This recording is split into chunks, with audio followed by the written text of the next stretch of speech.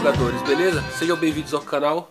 Hoje eu vou trazer aí duas dicas aí que uma é para quem está sofrendo de lag no controle do Play 4, pode ser que esteja é, pode ser que esteja passando pelo mesmo problema que eu passei e é bem simples de resolver.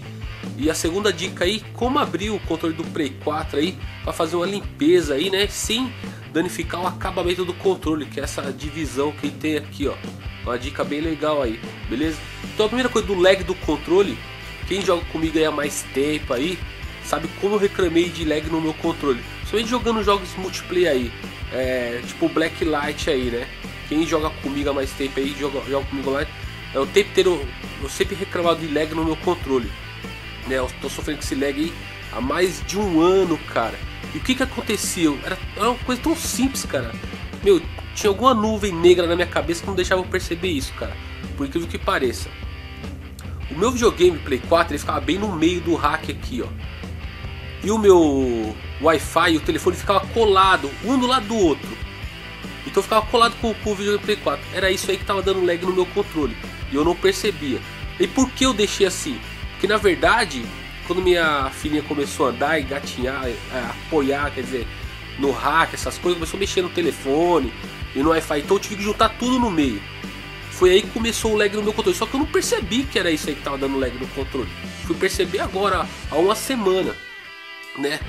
Aí o que acontece? Agora eu separei, né? Deixei o, Wi-Fi e o telefone lá no canto lá. Deixei o Play 4 lá no outro lado, lá no cu do mundo lá, ó. Agora parou o lag, meu. Uma semana que eu tô jogando sem lag nenhuma sem lag nenhum, tá, tá perfeito, meu. Jogo jogo multiplayer aí, até que jogo novo Crossout aí que eu baixei gratuito da PSN, tava dando lag. Parou, meu. Então eu jogo, jogo multiplayer sem lag nenhum. O controle tá perfeito, mano, perfeito mesmo. E qual era o problema? Era, eu não sei se é Wi-Fi ou o telefone, tava dando é, interferência no comando do, do, do, controle, cara. Sabe? Eu não, não percebia isso, cara. Não sei, fiquei um ano sofrendo disso aí, cara. E eu tava uma semana trocando ideia com os, com os colegas na par aí. E eu falei, ah meu, eu tava jogando Black Light, falei, meu, não dá mais pra jogar, vou comprar um controle porque vou gastar aí 180, 200 conto, mas pra mim era defeito do controle, cara, sabe? Não, não imaginava que era isso aí, mano. Então já fui dormindo pensando, pô, vou comprar um controle mesmo, gastar entre 180, 200 conto. E eu fui deitar, aí comecei a me lembrar de quando eu era técnico da net, cliente ligava lá na, na na, na net falando que a TV dela tava sem sinal, tava funcionando. Chegava lá na casa do cliente lá, ligava a TV, mas tudo quadriculada, meu. Então tem um aparelhinho digital da net, um cinzinha, um prata, não sei se alguns aí vocês devem conhecer. Então tava lá e tava um aparelho de telefone do lado do aparelho da net. Eu só pegava o aparelho, o aparelho de telefone, deixava uns meio metro de lado, a imagem voltava a funcionar normal, sabe? Então isso aí, quando eu lembrei disso aí, eu imaginei, pô, telefone Wi-Fi do lado do meu videogame. Será que não está dando lag no meu controle? Não, foi batata, mano. Eu acordei de manhã, no outro dia liguei o videogame. Aí comecei a jogar do jeito que tava, com o videogame lá no meio, Wi-Fi e o telefone do, do lado do videogame. Meu, pouco tempo começou a dar lag. Peguei e separei, do jeito que tá aí, meu, nunca mais. Vai fazer uma semana, cara, que eu tô jogando perfeito. Então pode ser que alguns jogadores aí pode estar tá passando o mesmo problema que eu então pode ficar esperto, pode ser que esteja um, um aparelho de telefone do lado do seu videogame ou um aparelho Wi-Fi. Então o ideal, pessoal, ó, deixa distante, cara. Igual eu deixei ali, ó, acabou, cara. Ou seja, economizei aí um entre 180 e 200 conto aí, porque eu ia comprar um, um controle, cara. Beleza? Então essa é a dica aí, tá? Valeu! Ah não, agora vamos desmontar o bichinho aqui. É... Como abrir o controle do Play 4 sem sem danificar aqui os acabamentos e tal. Às vezes esse meu videogame tinha muita sujeira dentro aqui do poeira, sabe? Tá nascendo até um pé de feijão aqui, cara. Então eu limpei tudo, cara. Deixei meu zeradinho, ficou ótimo, cara. Beleza? Então vamos aí pro tutorial de abrir o controle sem danificar o acabamento. Vamos lá. Muito bem, jogador. Estamos aqui com o nosso controlinho. O meu controle do Play 4 é o seguinte, todo mundo sabe que tem quatro parafusinhos aqui atrás aqui, ó. Muitos pensam que tem um parafusinho atrás dessa etiquetinha aqui rasgam à toa, mas não tem, tá? Só vai precisar de uma chavezinha Phillips, tá? Chavezinha Phillips meu não sei onde tá, vou ter que abrir com canivete. Uma palheta aí de violão ou guitarra, se você não tiver uma palhetinha dessa aqui, arruma uma, um plástico tipo plástico de manteiga, vai ter que ser um pouquinho mais duro o plástico, sabe? Aqui que a gente vai abrir o controle que vai usar também. Alguns palitinhos de dente aí para ajudar também a abrir. Tá, vamos abrir aqui primeiro o controle aqui, tirar os parafusinhos. A gente já vai fazendo passo a passo aqui.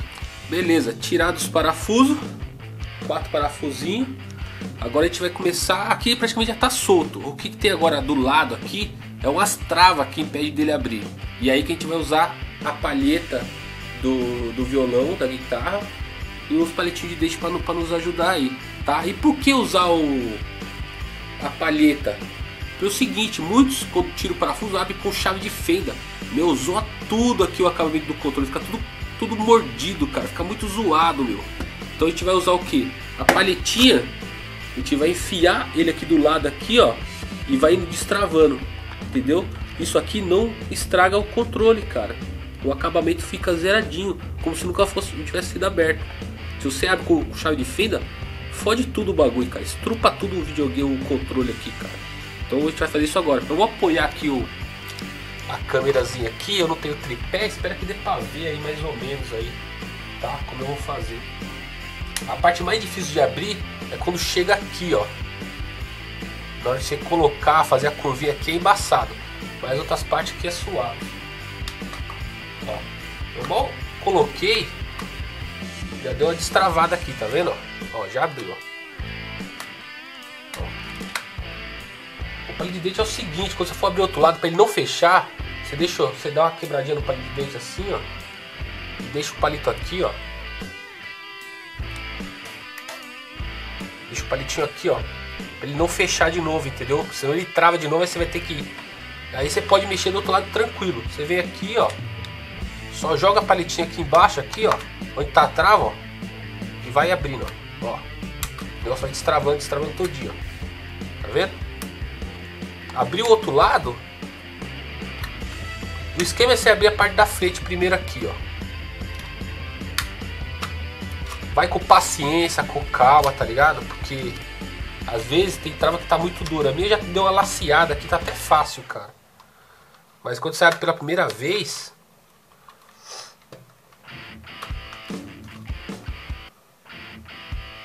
deu uma, uma, abriu um pouquinho aqui, eu já joguei um palito aqui, ó.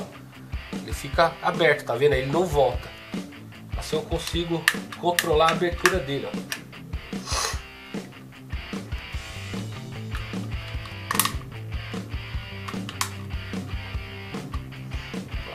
Praticamente já está toda aberta. Aí você vai andando com a, com a paleta, tá vendo? Vai andando, andando, andando. Até chegar do outro lado aqui, ó. Com paciência, devagarinho.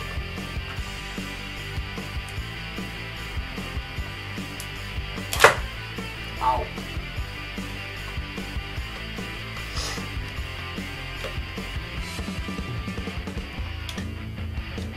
Essa partezinha aqui é mais chata, mas abriu.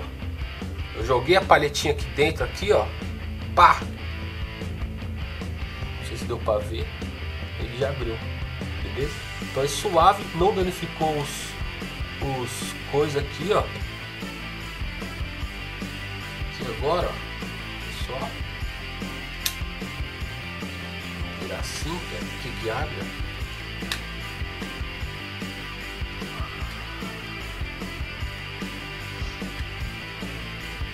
Tomar cuidado que tem um frete aqui que eu não puxo, tá? A gente vai soltar o frete aqui, ó.